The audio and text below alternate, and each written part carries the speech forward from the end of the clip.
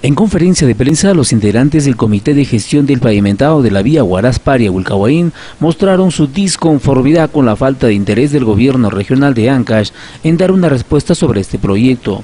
Madure el expediente técnico, que el gobierno regional también haga su trabajo.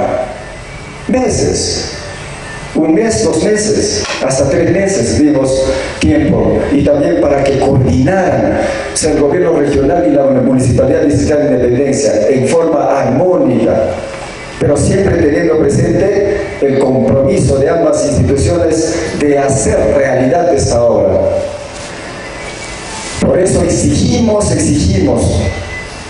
Y por último, el gobernador regional cuando nosotros nos estamos concentrando en Paya Huilcahuayín para venir a una movilización que había convocado FEDIT y otras instancias, esperaron por más de una hora a los funcionarios de la región para que expliquen sobre el avance del financiamiento de este proyecto que se viene gestando desde hace un año y nadie se hizo presente. Nos llamaron por teléfono, ¿no? que no bajáramos, que esperáramos, que esperáramos en Huilcahuayín para,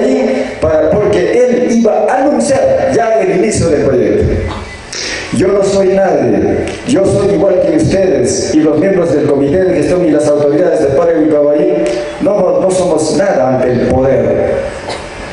El poder cuando dice vamos a iniciar, nosotros nos hubiéramos opuesto o hubiéramos dicho, Señor, que no sea el 15 de agosto el inicio, que sea, digamos, el otro año, no pues.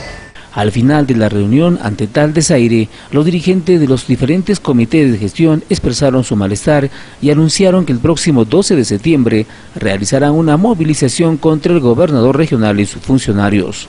Exigimos y tomamos prácticamente el local de la Municipalidad Distrital de Independencia.